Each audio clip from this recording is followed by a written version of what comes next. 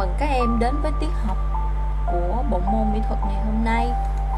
Tiết học hôm nay chúng ta sẽ ôn tập hướng dẫn ôn tập để chúng ta chuẩn bị uh, cho bài kiểm tra học kỳ 1 và uh, ở bài hướng dẫn ôn tập này như cô đã nói tiết trước chúng ta sẽ uh, chọn chọn đồ vật là ốp lưng điện thoại để trang trí thì ở phần này sẽ có phần quan sát nhận xét và hướng dẫn chúng ta thực hành.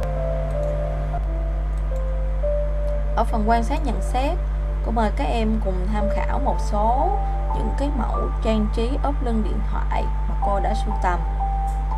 Đầu tiên chúng ta thấy à, những cái hình ảnh trái cây sẽ được à, trang trí trên mặt ốp. Thì à, đây à, là dành cho những bạn nào mà chúng ta không có ý tưởng nhiều, chúng, hoặc là chúng ta muốn vẽ đơn giản thì chúng ta sẽ vẽ theo dạng như thế này.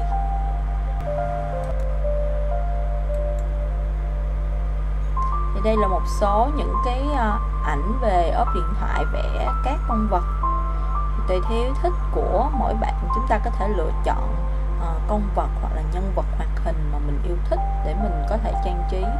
ốp lưng điện thoại uh, có màu sắc có bố cục đường nét theo ý thích của mình.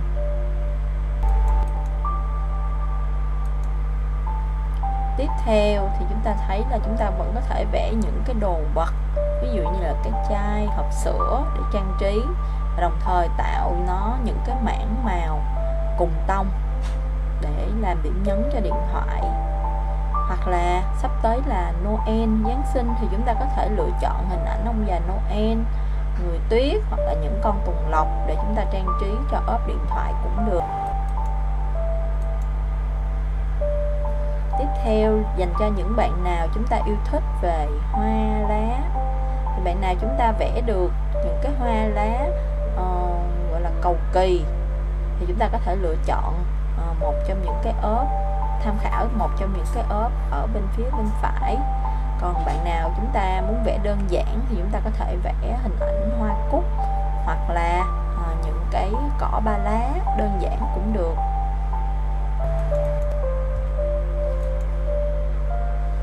Tiếp theo là uh, những cái hình con người rất là ngộ nghĩnh uh, được bố cục rất là lạ mắt thì đây là tùy theo ý tưởng của từng bạn. Chúng ta có thể thiết kế theo ý thích của mình và vẽ theo sở thích nữa. À, hoặc là à, vẽ những cái đồ vật để trang trí cho ốp lưng của mình. Hoặc là trang trí bằng những họa tiết hoa văn hoặc là đường diềm đơn giản. Sang phần hướng dẫn thực hành thì ờ, ở bài những bài trang trí cô cũng đã hướng dẫn rất là nhiều ở đây cô chỉ nhắc lại và không có hình minh họa. Tại vì mỗi bạn chúng ta sẽ tự sáng tạo riêng. À, theo các bước thì các em sẽ vẽ khung ốp điện thoại thường là hình chữ nhật và nó có thể bo cong ở bốn góc. Sau đó chúng ta sẽ bố cục và vẽ. Bạn nào chúng ta thích cắt dán thì chúng ta vẫn có thể sử dụng hình cắt dán tự vẽ hoặc là uh, cắt dán uh, nguồn mà mình sưu tầm cũng được miễn là trang trí uh, làm nổi bật được cái ốp lưng của mình. Và cuối cùng là phần chúng ta thể hiện màu sắc. Cô mời các em cùng tham khảo thêm một số những cái uh, ốp lưng điện thoại mà cô sưu tầm thêm để chúng ta có ý tưởng chúng ta uh, làm bài chẳng hạn. Uh, từ những cái quả nè những cái con vật nè những ly trà sữa. Ở phần hướng dẫn về nhà yêu cầu các bạn à, hoàn thành cho cô phần bài ghi ôn tập. Rồi tiết sau cô sẽ hướng dẫn cho chúng ta ôn tập bài trang trí thiệp. À, dụng cụ chuẩn bị vẫn là tập ghi sách giáo khoa với A4 à, bút chì gom bút màu hoặc giấy màu cắt dán. Và tiết học của chúng ta tới đây hoàn tất thân ái chào các em chúc các em nhiều sức khỏe.